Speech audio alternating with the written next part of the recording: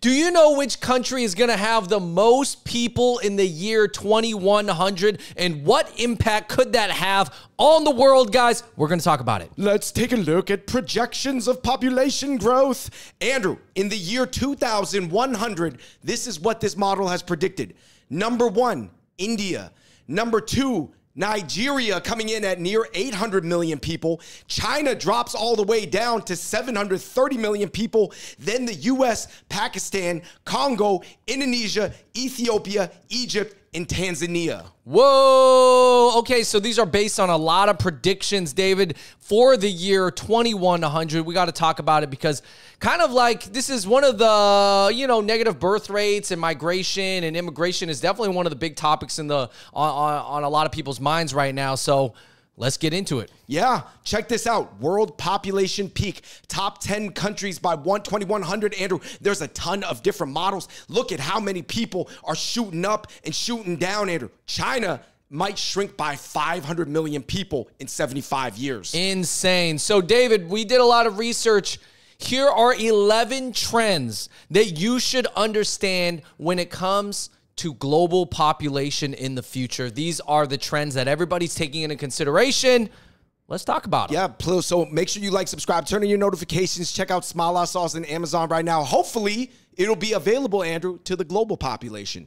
Andrew, real quick before we get into the list, take a look at the total fertility rates for six regions. Right now, I would say that Africa, right now, sub Saharan Africa, is around 4.6. Mm. But everything by 2100 will drop down to around two child uh, two children per household. Yep, yep. One thing to remember is that all birth rates in almost every country are starting to decline, but obviously some countries were way higher than others in the past 10 years. But yeah, yeah, yeah. Point number one, Andrew. Projections projections are incredibly difficult to get right, but are often in the proper ballpark because the trends are not just going to like reverse all of a sudden. Right. So they're saying these predictions that we have right now, and people are making these very smart guesstimations about the future. You're saying that usually because it's based on trends that are ongoing and trends don't just quite stop all of a sudden that they're probably going to be kind of right Yes, they're probably going to be right, but does it cannot account for weather, pandemics, war, politics, economics, major societal shifts. For example, Andrew, in 1994, the New York Times ran an article predicting that Vietnam's population right now would be 165 million, but right now it's around like 95 million. Right. So, so they were right in the sense that Vietnam's population did grow a lot but just didn't grow at the rate they predicted. Yeah, and it seems like for the questions of like China, for example, or Japan and Korea and these countries with super low birth rates, it's almost like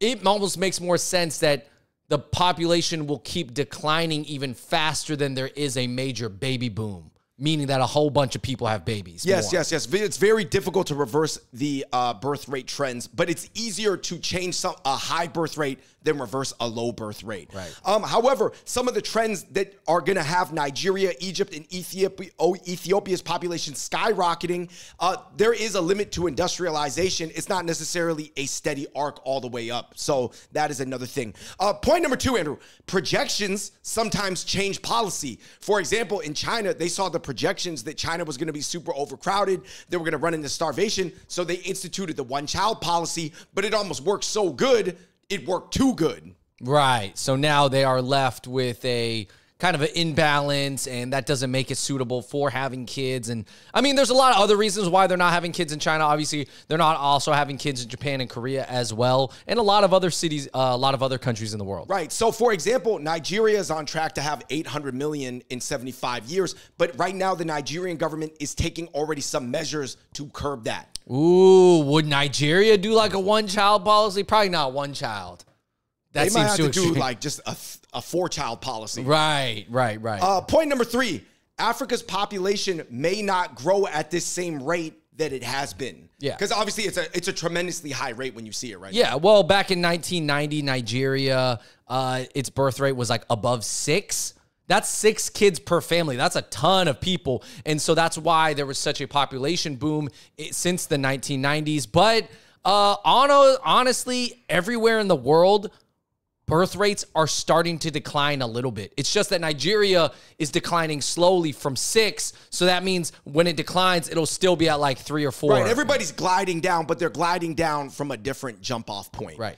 Uh, point number four, Andrew. China's population is on track to potentially be halved. Man. So a lot of people are crazy. basically throwing out ideas. What does that mean? Does it mean a lot? Does it mean a little? Because it cer- certainly means something. Yeah, I mean, uh, again, man, I don't think I don't know if it's something that you can panic for, and I don't know if you can plan like some crazy baby boom and a whole bunch of people having a bunch of kids. It seems unlikely. It just seems that maybe you could slow the decline by making it easier to have kids, uh, having their setting up more systems for uh, baby care, or hey, you just take the hit, and then in twenty year twenty one hundred, there's a lot less Andrew, people. What do you think if the solution was to study for exams and tests less, and that was the solution? Would they institute it? Yeah, I do think that you have to take off some of the pressure off some people so that they can have kids and focus on having kids. And then also help other people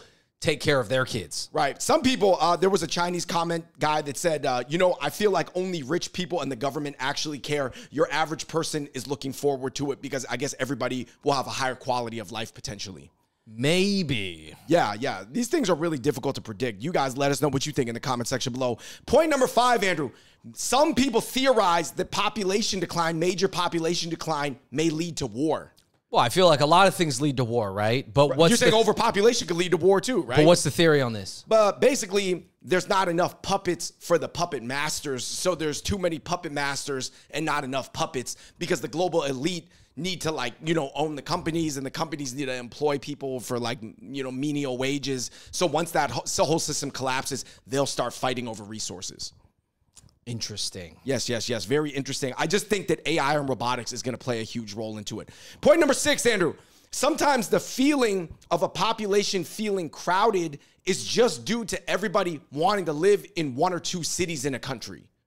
So, for example, um, America, Andrew, on a per capita basis, uh, like China has one fifth of the arable land that America has on a per capita basis. That means that even though China's slightly bigger than America, its arable land is way lower. That pushes that population into the cities. Right. Well, actually, in America, there's quite a lot of good land that still is not very populated. So if you think New York City or SF is crammed, it's just because you didn't move an hour outside of the city yet. Right, right. There's still arable land over there that's still uh, a frontier, I guess. Uh, some people are saying that the new ultra high speed trains that are being built under 500, 600 miles an hour will allow cities to feel more alleviated.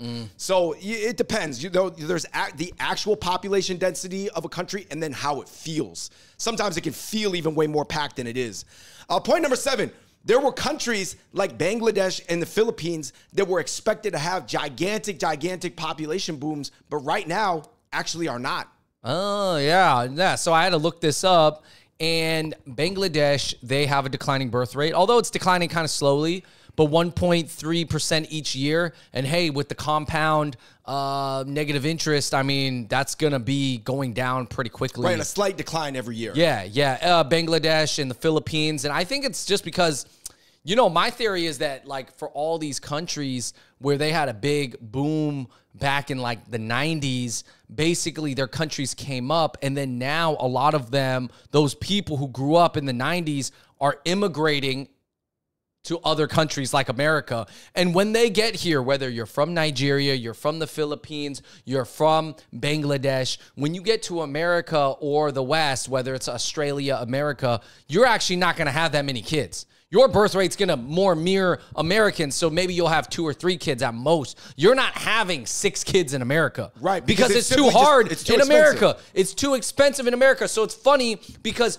all these countries had big booms, and then those kids that grow up, they move just to have the same birth rate as the Native Americans. Right, you're saying it almost more assimilates to the culture that they're moving to. exactly. Point number eight, Andrew. Uh, immigration from colder countries to, I mean, from warmer countries to colder countries is going to be a huge thing due to equator uh, climate change. A lot of countries near the equator, some people predict, will become like so harsh climate wise, they'll become unlivable. Right. Yeah, so that's going to be a big thing right now.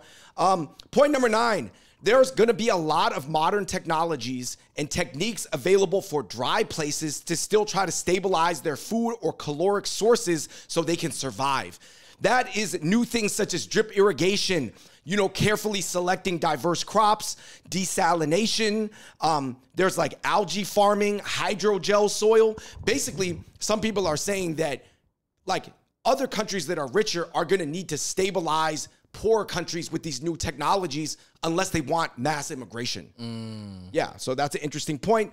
Number 10, what do you do with these trends and predictions? For example, Andrew, Elon sees these predictions and he wants to build Mars colonies. Right. So I guess everybody's like looking at it. Some people are like, oh, yeah, that's great. That's the future of the world. Other people like, this is the end of the world. Elon, he wants to use this information to go to Mars. Mm. Um, and point number 11, Andrew, AI might just change all of this calculus. Oh. So people are saying that maybe uh, people are going to marry robots. People are going to have robots take care of the elderly. That's going to stabilize populations where it's overly weighted on seniors versus young people. So the robots could have a big impact. Right. I feel like if you made me say AI is going to have a negative impact on birth rate, if anything, highly unlikely to me that people see robots and what robots are going to take care of your baby, really, if it's just AI. Like, how are the robots going to make parents want to have more kids? Is it really going to make it easier? Because you need caretakers for kids. So if the robots can't do what like a grandparent or auntie or uncle would do, then really they're not going to promote people having a lot of kids. Yeah. I do think, to an aside, men are more likely to marry a Blade Runner style uh, android or cyborg than a woman is to marry a male cyborg. Yeah, I agree. Yeah. Men, some men out there are ready to marry those AI models off Instagram if they can just be real enough. It was just like Blade Runner. Yeah. Anyways. Uh, anyway, guys, I think that my major takeaway is that I think we're entering a new cycle with AI. So potentially a lot of the models that held true for like 20, 30, 40 years, they possibly could be shifted, but AI and cyborgs and androids, they're not there yet to like so we can't really fully predict how it's going to stabilize everything. Right. But I think they're going to play a huge part. Yeah. But but who knows, man? Maybe the actual moving robots get implemented into our lives a lot slower than AI is. I think AI is already part of our lives to an extent, but I feel like the actual robots that can pick up a baby and rock it and feed the baby, that's not happening anytime soon. Right. Um, anyway, guys, let us know what you think of these population predictions in 2100, 75 years from now. Any thoughts? You know, I think it's really interesting because it does dictate on a very macro bird's eye view the way the world is headed. Until next time, we the Hot Pot Boys. We out. Peace.